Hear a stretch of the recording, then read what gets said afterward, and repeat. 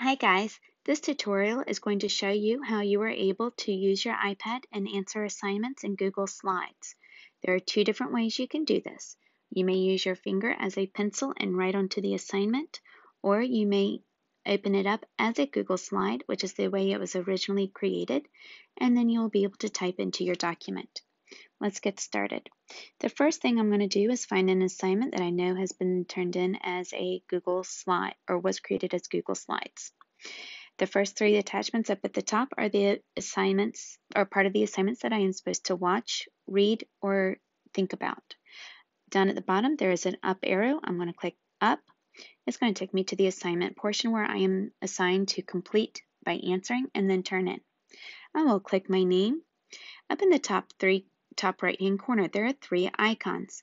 The first icon with the page and the magnifying glass will allow me to search somewhere on that assignment for a certain word.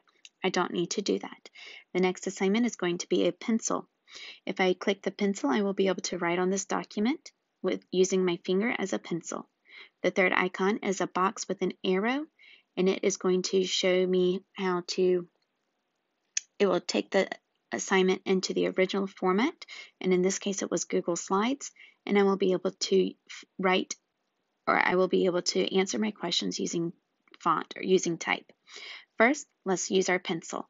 If I click the pencil, it's going to turn my assignment into a PDF file, and I'll be able to use my finger as a pencil. At the bottom, there are several icons. The, this icon is an eraser. The next icon is a pen. This is a marker. This is a highlighter and this last one is a text box. For this case, I'm going to use the pen, and I'm going to go up to my first question and answer it. Remember, I've already read the article. What are three things that you wondered about as you read the question? I wondered,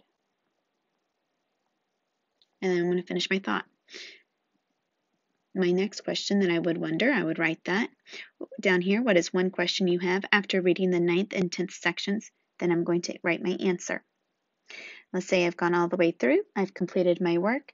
Up at the top right hand corner, there are three icons. The first one is a back arrow. It will take away whatever last steps I have done.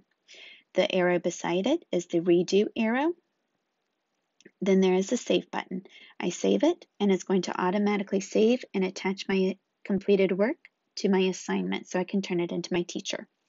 I click X and I can see that the PDF says edited, my name, and then it has the assignment. I can turn it in if I am ready. The next thing I'm going to show you is how to use your typing into your document so you are able to type. I'm going to click the box with the arrow. The box with the arrow is going to take it to the original format, and in this case, it was saved as a Google slide. Here in Google Slides, I'm going to be able to type. My answer will be nice and neatly written. I'm going to click beside type here, wherever the first type here box is, that is going to be, a, that tells me it is a um, text box, and that's where I will answer my question. The first one, I'm going to tap right beside it, and I can double tap it to get where I can go back in and um, backspace delete, and then get ready to type. I can change my font color. I wondered about, okay, click the keyboard button down. It will take it away. I will go to the next spot I have to type.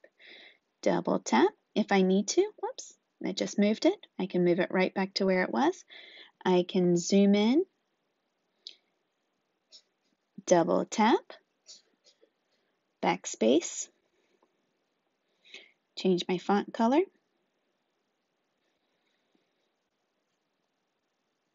If I type, tap out of it, I double tap and it'll take me right back to it. I wondered about. Now, one next thing I want to show you is how I can move my use my mouse as a cursor to move it to wherever I need it to be. I'm going to double tap here. Notice though that I'm at the beginning of type here. I don't want to necessarily type in front of type here. I want to be able to delete that and then type. Press and hold spacebar down, slide it over. I'm now at the very end. Backspace, Change the font color if you want. I wondered if. Keyboard down.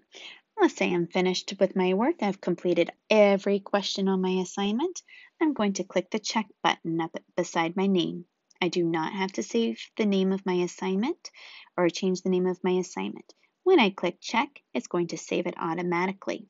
In the top left-hand corner, it says Classroom with a back arrow. If I click that, it's going to take me right back to the Classroom app. Click it. It does not appear to have saved, but if I click X, this is just going to close the assignment. I see my assignment. I'm going to double tap it. And I see where I have done my typing. Click X. I can turn in the assignment. If I decide that I have turned it in and then I want to go back and edit, I am able to edit it. I simply would unsubmit